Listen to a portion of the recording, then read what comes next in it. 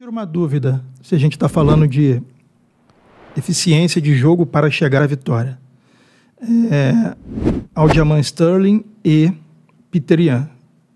O cara, como a gente falou aqui há pouco tempo, surpreendeu a quase todo mundo. Acredito que a você também. Sim. Você não esperava aquilo ali.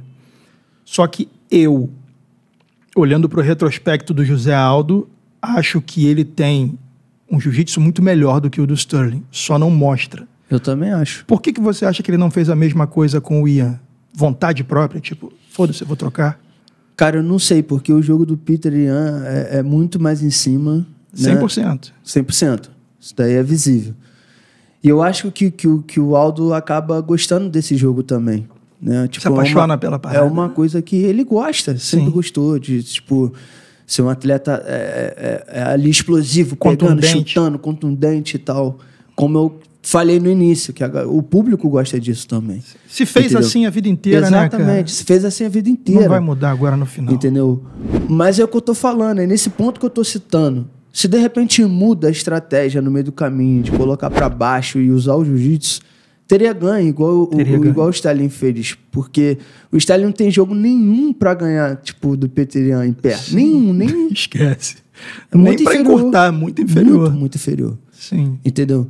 Então acabou usando o jogo certo dessa segunda luta, porque da primeira ele tava tomando muita bola. Muito. Muita. Muito. Usou a regra Ah. debaixo do braço e ali saiu o campeão.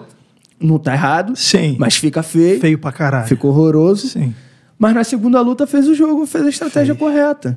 Entendeu? Saiu é por aí. liso, saiu limpo, É como tu irmão. tá falando, eu acho que o Aldo, o jiu-jitsu, cara, que o Aldo tem, tipo, absurdo. pô, não tem o que falar. O cara É. treinando de pano até hoje, tipo, sabe? Tem um jiu-jitsu, pô, raiz mesmo ali Sim. do Dedé, tipo. Sim. Então, é, é, é, vem cada de atleta, vem de cada atleta assim, de sabe? Tipo, atleta. querer mudar, querer, sabe, usar Sim. é meio, Sim. meio, meio particular isso, O que serve pra você não serve pro outro. Você tá falando da sua filosofia. Exatamente. Eu acho que é muito particular. É, é particular e também é momento. O cara já conquistou tudo que tinha que conquistar. De repente, pra ele, o desafio é se Aham. mostrar o melhor striker. Porra, talvez 90% dos atletas que conquistaram o que o Júnior conquistou, o Aldo, nem estariam mais lutando. O Exatamente. cara tá lutando com o coração, perdendo peso e tal, enfim. Não, e fica bonito também de se ver. né? Sim, sem Fica dúvida bonito, nenhuma. tipo, a, a força de vontade dele ali, É. lutando, mostrando um boxe bonito, Sim. mostrando um kickbox bonito. Mostrando uma evolução. pra cima, o shape alinhado, Sim. tipo, bem fisicamente, cabeça boa.